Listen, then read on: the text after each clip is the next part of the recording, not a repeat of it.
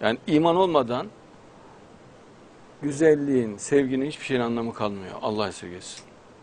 Mesela her gün onu düşünüyorum ya. Mesela cennet. Mesela cennette kadınlar var. Ne güzel. E, iman olmadan hiçbir anlamı yok. Cennette ırmaklar var. İman olmadan ırmak, adamı ne ilgilendirir ırmak ya? Cennet tahtları var. Hep iman. Onun için bu imtihana ne gerek var diyenlere hep şaşıyorum ben. He- Her gün daha önemini insan görüyor. Her gün. Bir de o kadar aciz yaratılmış ki insan. Bu acizine rağmen insanların bu dünyaya bu kadar bağlanması, mallara, oğullara, işte e, yarım kalın ticaret diyor değil mi? Evler diyor Cenab-ı Allah. Acayip bir hırs duyuyorlar. Halbuki bütün dikkati Allah'a verseler, Allah zaten yine mal mülk çok daha fazlasıyla verir ve huzurla güzel yaşarlar.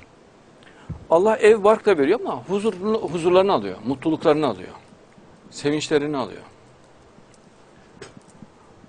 Yani iman olmadan sevginin bir anlamı yok.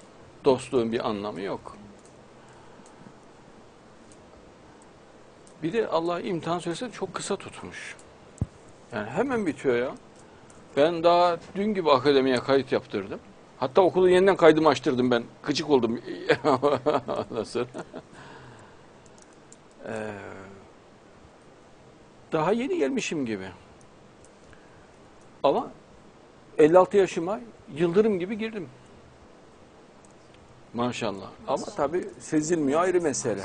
Sezilmiyor.